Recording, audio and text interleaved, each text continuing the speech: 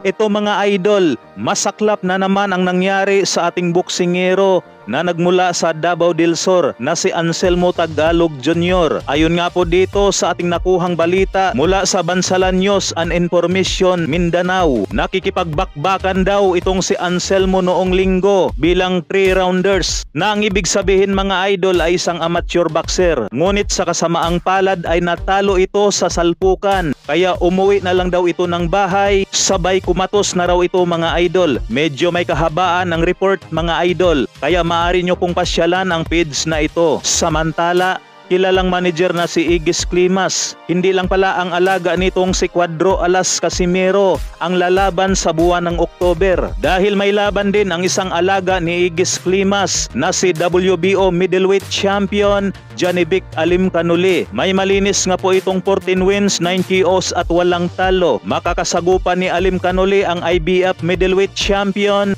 na si Vincenzo Gualtieri. May malinis nga po ito na 21 wins, 7 KOs at walang talo. Isang unification bout nga ito mga idol sa darating na October 14. Kaya pagkatapos ang laban ni Cuadro Alas ngayong October 12 ay didiretso na nga po tayong mga boxing fans sa laban ni Alim Kanuli. Sa kabilang banda naman mga higala, Quadro Alas, it's my boy. May panibagong tirada. Sabi nga po dito sa kanyang bagong post na, alam nyo ba mga boss kung ano talaga kulang sa akin? Kasi magkaiba talaga ang sparring at totoong laban sa ring. Ang kulang si Nauya Inoue talaga. Basta abangan ninyo ang conditioning nutritionist. Kukuha tayo ng dalawang trainer, dalawang trainer. Kung gusto ninyo, sampu pa. Sige, abangan ninyo kung sino-sino ang kukunin kong trainer. Huwag kayo magulat ha, kolorom. Huwag kayo bida-bida. Mga wala kayong bilang. Siguro ang ibig sabihin ni Quadro Alas, it's my boy mga idol, ay huwag makikialam sa business ng my business. O huwag sila diktahan at tipong pabida-bida. Parang ganun ang ibig sabihin dito ni Quadro Alas, it's my boy.